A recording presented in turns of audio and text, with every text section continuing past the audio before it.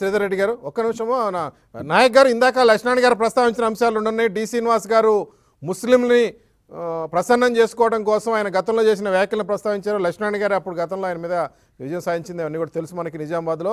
But ఆ వ్యాఖ్యలు అట్లనే ఫిరోజ్ ఖాన్ గురించి వ్యాఖ్య చేశారు. I think Kerala film personality ఒక ఆయన ముస్లిం నుంచి హిందూకి కన్వర్ట్ అయ్యారు.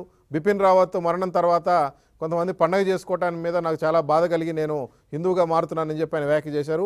అటువంటి వ్యక్తి మీద కనుక ఏదైనా చేస్తే ఆ ఖర్చులన్నీ నేను భరిస్తానని ఫిరోజ్ ఖాన్ వ్యాఖ్యానించారట. నేనైతే ఫాలో కాలేదు అది నాయక్ గారు. నేను కూడా ఫాలో కాలేదు అది. మరి బీజేపీ వాళ్ళకే దొరుకుతాయి ఇట్లాంటివన్నీ ఏడేడు ఉన్నాయో.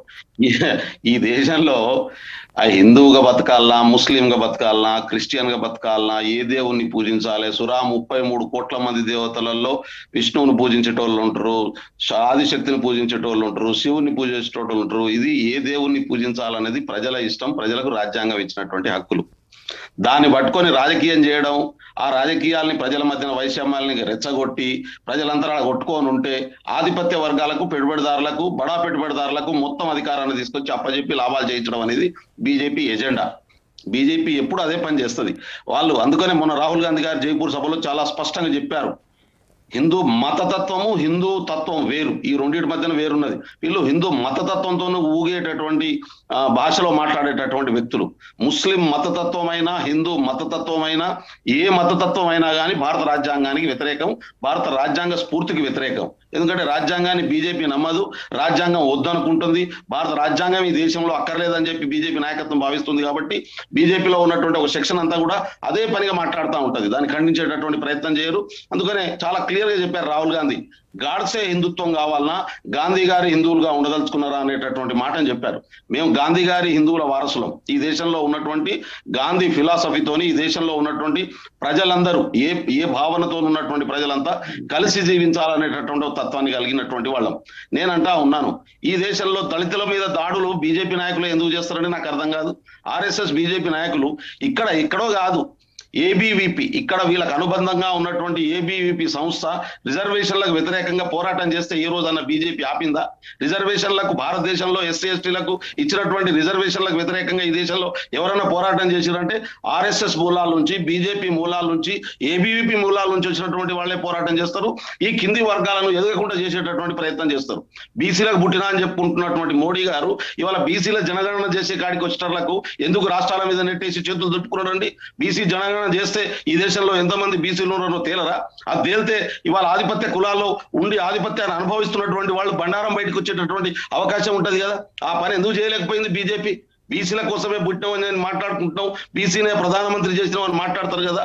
వీళ్ళ ఎజెండా చాలా క్లియర్. దళితుల మీద కావచ్చు గిరిజనుల మీద కావచ్చు బీసీల మీద కావచ్చు హిందువులని మతంలో ఉన్నటువంటి కింది కులాలని అణిచేసేటటువంటి తత్వంలో వీళ్ళ దగ్గర క్లారిటీ ఉండదు. వాళ్ళందరినీ హిందూ పేరు మీద రెచ్చగొట్టి తుపాకులు ఇచ్చి ఆయుధాలు ఇచ్చి త్రిశూలాలు ఇచ్చి పొడుచుకునేటటువంటి ప్రయత్నం చేస్తారు. ఆధిపత్య వర్గాలకు సంబంధించినటువంటి పిల్లలు ఈ బీజేపీ నాయకులకు సంబంధించినటువంటి వాళ్ళంతా విదేశాల్లో చదువుకొని విదేశాల్లో పెద్ద నాయకులకు వచ్చి మళ్ళీ పైన కూర్చునేటటువంటి ప్రయత్నం చేస్తారు ఇది వీళ్ళ వీళ్ళ తత్వం.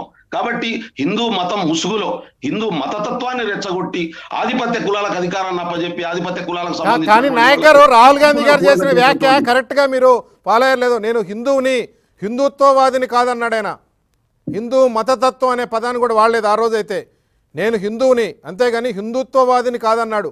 హిందుత్వం అంటే ఒక ఏంటది ఒక నెగిటివ్ వర్డా హిందూ మతతత్వం మతతత్వం ఏదన్నా నెగిటివ్. విషయమే. ఇప్పుడు హిందూ నేను హిందువును మీరు హిందువును ఈ దేశంలో ఉన్నటువంటి కోట్లాది మంది ప్రజలు హిందువులు. ఈ కోట్లాది మంది ప్రజలు భారతీయ తత్వంతో ఉంటారు. భారత ప్రజలందరూ భారతీయ తత్వం అంటేంది ప్రేమ సమానత్వం స్వేచ్ఛ సౌభ్రాతత్వం. ఆ ఆ తత్వంతో ఉంటారు. ఇవాళ ఇవాళ ఎంతో మంది ఫిలాసఫర్స్ చెప్పినటువంటి తత్వంతో ఉండరు హిందూ మతతత్వం ఏంది? ఆర్ఎస్ఎస్ చెప్తున్నటువంటిది. ఇవాళ వసుదైక కుటుంబం అనే కాన్సెప్ట్ ఆర్ఎస్ఎస్ వ్యతిరేకం. ఆరే వసుదైక కుటుంబం అనే శ్రీకృష్ణుడు చెప్పిన విధానానికి ఇవాళ ఆర్ఎస్ఎస్ వ్యతిరేకం. దాన్ని పట్టుకొని వాళ్ళు వాళ్ళు ఇక్కడ ఉండాల్సింది ఉండ ఉండాలనుకుంటున్నది బాంబ్ కొంతమంది కొన్ని కుటుంబాలకు సంబంధించినటువంటి ఆధిపత్యమే కాదు నాయక్ గారు హిందూ హిందుత్వం అనే పదానికి హిందూ మతతత్వం అనే అర్థమే వస్తుందా? హిందుత్వం అనే పదానికి? ఆయన ఆ రోజు క్లియర్గా అన్నది అదే పదం. హిందూ హిందుత్వ హిందుత్వం ఈ రెండింటి మధ్యన తేడా ఉంది విజయ్. ఈ రెండు మధ్య తేడా ఉంది. ఇది రైట్ ప్లేస్ కాదు డిబేట్ చేయడానికి. ఇంకోసారి దాని మీద పెట్టండి. విస్తృతమైన డిబేట్ చేద్దాం. ఎందుకంటే మనం. రాజకీయాల కోసం చర్చిస్తాం. భావజాల చర్చ సిద్ధాంతపరమైన చర్చకు ఇది. వేదిక కాదు. నేను ఎందుకంటే. ప్రస్తావించింది ఇందాక ఫిరోజ్ ఖాన్ అండ్ డి శ్రీనివాస్ గారి వ్యాఖ్యలు. బట్ ఫిరోజ్ ఖాన్ అయితే ఫిరోజ్ ఖాన్ ఇప్పుడు ఆయన తను చెప్పినట్టు ఫిరోజ్ ఖాన్ గనక మతతత్వంతో ఉంటే ఆ మతతత్వం కూడా ఈ దేశ ప్రజలకు రాజ్యాంగానికి వ్యతిరేకమైందే. నేను చెప్తా ఉన్నాను. అది ఫిరోజ్ ఖాన్ కావచ్చు అససుద్దీన్ ఓవైసీ కావచ్చు లక్ష్మీనారాయణ కావచ్చు ఇంకెవరైనా కావచ్చు.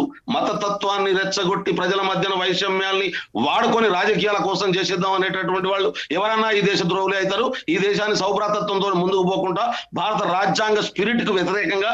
పనిచేసినటువంటి వాళ్ళే అవుతారు. ఇది ముందు మనం అర్థం చేసుకోవాల్సినటువంటి అవసరం ఉంది. ఇవాళ బీజేపీ ఎజెండానే మతతత్వాన్ని రెచ్చగొట్టి ఓట్లేసుకోవడం అది హిందువులు అనే పేరు మీద హిందూ తత్వం అనే పేరు మీద హిందూ మతతత్వం ముసుగులో కింది కులాల్ని అణిచేయడం కింది కులాలకు అధికారం లేకుండా చేయడం కింది కులాలకు ఆస్తులు లేకుండా చేయడం కింది కులాలకు హక్కులు లేకుండా చేయడం కింది కులాలకు సమానత్వం రాకుండా చేయడం ఇది భారత రాజ్యాంగానికి వ్యతిరేకం.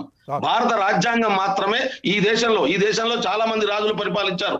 మను ధర్మాన్ని అమలు చేసిన రాజు ఎవడన్నా గాని ఎవడన్నా గాని ఈ దేశాన్ని పాలించిన హిందూ రాజులు కావచ్చు ముస్లిం రాజులు కావచ్చు ఈ దేశంలో ఉన్నటువంటి కోట్లాది ప్రజల జీవన విధానాన్ని విధ్వంసం చేసినటువంటి వాళ్ళే.